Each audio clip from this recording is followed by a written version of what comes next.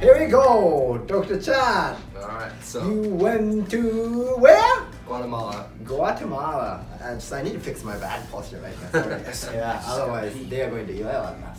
Yeah.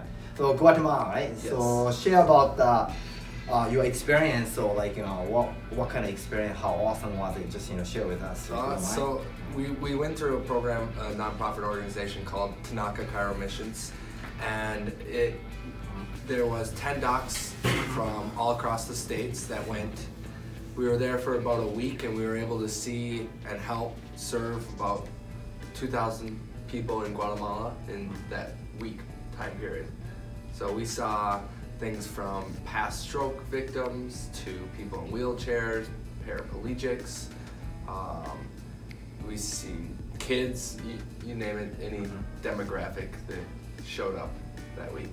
So it was very rewarding to help serve them. what was the highlight about the Guatemala trip? Um, I would say one of the highlights was we had a patient who came in who was very spastic. Uh, they were stuck in a wheelchair and their their hand was in a, spastic type uh, position, and with three adjustments in a week, the, the person who's been stuck like this for years was able to get their arm just down like this and relaxed.